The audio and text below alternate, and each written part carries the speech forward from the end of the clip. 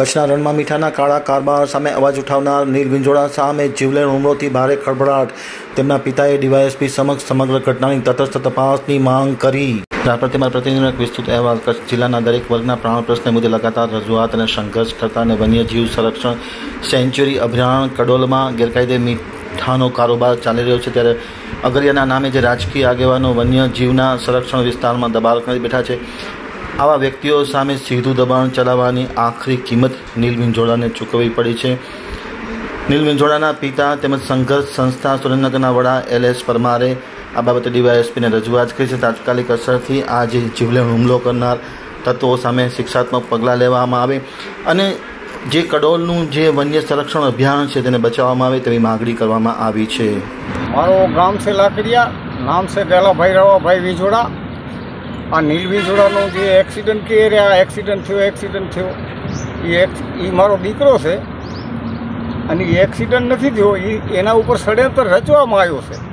એને ખતમ કરવામાં બહુ ભૂમાફિયાઓને મજા આવે છે એમાં. અને ભૂમાફિયાઓનો રોટલો એમાં ચાલે એમ છે. આ ભૂમાફિયાઓને ઉગાડા કરે છે, આ ભૂમાફિયાઓને હેરાન કરે છે. પછી પ્રશાસનને તકલીફ થાય છે.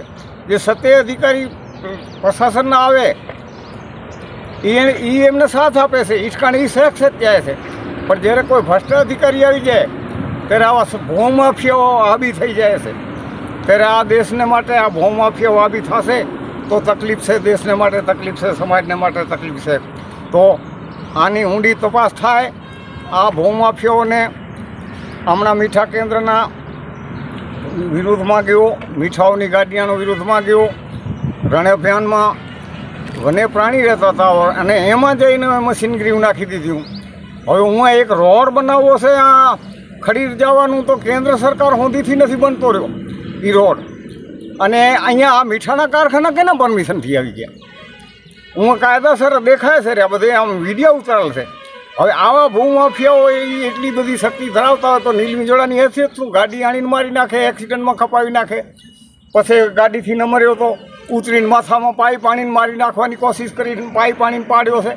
સમજ્યા? આ મારો આક્ષેપ છે અને સત્ય છે.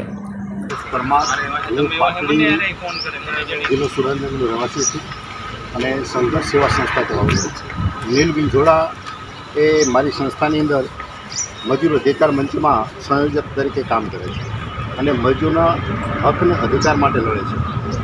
મજૂરના અધિકાર માટે લડતા હોય ત્યારે રણની અંદર જે કે બેફામ દબાણો થયા છે, ગેરકાયદેસર મીઠાના પાટાઓ થઈ રહ્યા છે. ગેરકાયદેસર એના અંદર જે કે ગાડીઓનું પરિવહન થયેલું છે, અભયારણ્ય વિસ્તારની અંદર આ રહ્યું છે, જે ફોરેસ્ટ ડિપાર્ટમેન્ટે અને પોલીસે રોકવાની જરૂરિયાત હતી. પણ એણે રોકીને નીલ વિચોળાએ આ બાબતે પંદર તારીખે એક આવેદન આપેલું હતું. એમાં અઢાર તારીખે એને અલ્ટિમેટમ આપેલું હતું કે અઢાર તારીખે અમે ધરણાને એવું કરવાના છે તો પંદર તારીખના આવેદન પછી સોળ તારીખે જ્યારે એ જમવા નીકળ્યા અને સોળ તારીખે બેથી ત્રણની વચ્ચે સામાન્ય જાણી બુજીને આની સાથે એક્સિડન્ટ કરવામાં આવે છે એને માર મારવામાં આવે છે. અને માર માર્યા બાદ એ બેભાન થયો ત્યારે એ લોકો ભાગી ગયેલા છે.